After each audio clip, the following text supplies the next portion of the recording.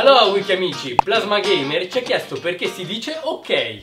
Nonostante sia una parola utilizzata praticamente in tutto il mondo, non si sa esattamente la sua origine. Ecco alcune possibilità.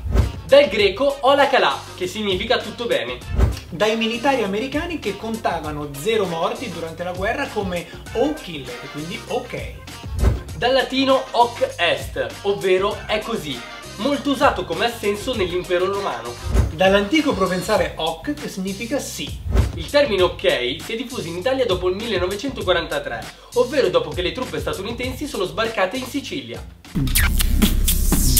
Wikinauti.